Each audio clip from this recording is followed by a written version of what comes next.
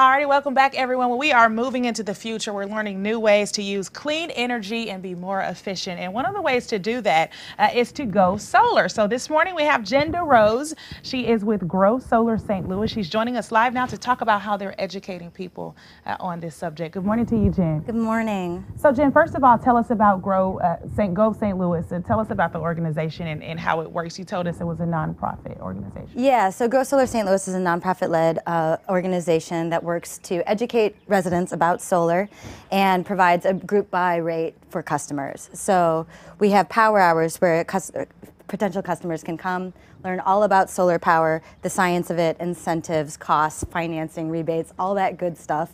And then they can decide whether or not they want to go through with it and get solar on their home.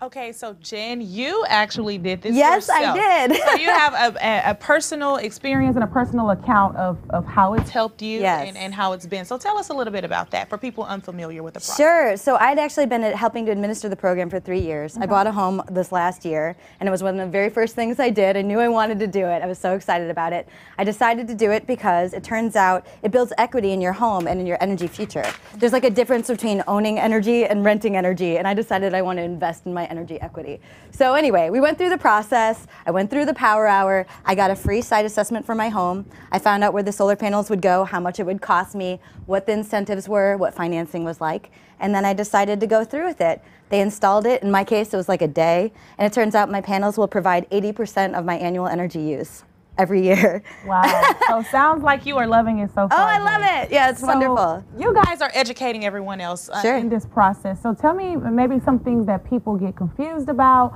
or, or that they, uh, the thing that they don't know about that you're going to be able to tell them. Sure, you learn all sorts of things by attending these power hours. One is that, you know, the science of solar, how it works. People don't understand that most of the solar um, systems in the, in the city, in St. Louis City, St. Louis County, the whole program, um, are tied to the grid. So you're interactive with the grid and you trade energy back and forth. Um, so if I overproduce, like today it's a beautiful sunny day, I'm going to be producing more energy than I use. I send that energy back to the grid and then I get a credit on my next bill from Ameren. And so my bills overall are very, very low, especially during the summer months. And we all like to have low bill. yes, so, we do. So Jen, you guys are actually having a couple of Zoom meetings uh, for people to learn more about this if they want to get on right. board. Uh, so tell us about that quickly before we wrap up. So those are the power hours. So people can sign up. They can, uh, it's all virtual. They come in, they learn about all the science of solar, all that good stuff, incentives. They can figure out if they want to proceed. They get a free site assessment and then they can decide if they want to go solar. It's really fun,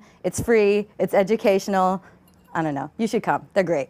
And we all like to save money, guys, so you guys should check it out. Thank you so much, Jen, for joining us this Thank morning. Thank you. If you guys would like to see this, it'll be all on our website, fox2now.com.